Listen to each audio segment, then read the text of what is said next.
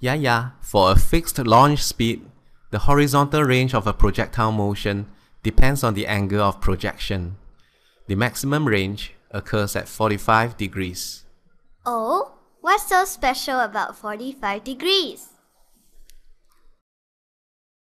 The range of a projectile motion can be calculated by multiplying the horizontal velocity with the time of flight.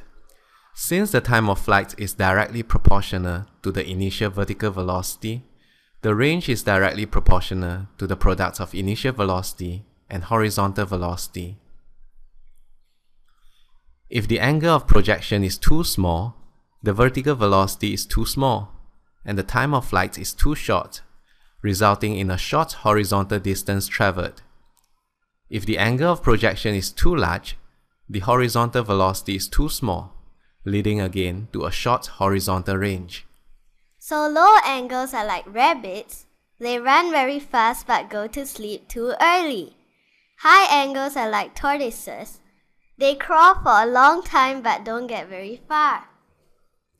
So the winner is something right in the middle between the tortoises and the rabbits. Like a torbit?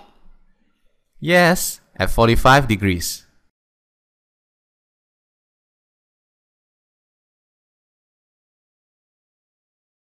At 45 degrees, aren't the two velocities the same?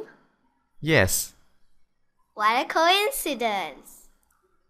not really, because the range is proportional to the product of initial vertical and horizontal velocities. The range can be represented by the area of the rectangle with sides equal to the initial vertical and horizontal velocities, and diagonal equals to the launch speed. For a particular diagonal length, the biggest rectangle you can form is the square. Yippee! Squares beat rectangles.